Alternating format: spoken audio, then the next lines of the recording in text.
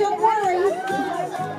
There will be a lot more times that your mother or your grandmother might embarrass you even more.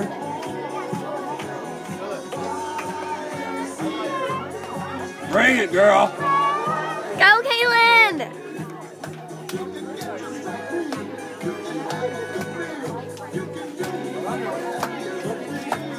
It is June 1st, 2012. Championships, Little League in Tucson, Arizona. Ten and a half year old Caelan is now stepping up to the plate.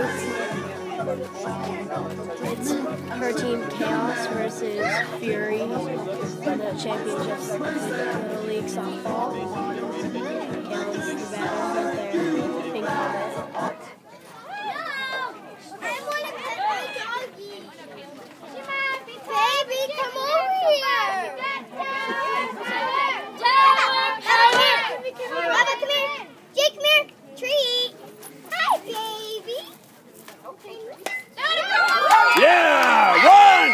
run! All the way! Go!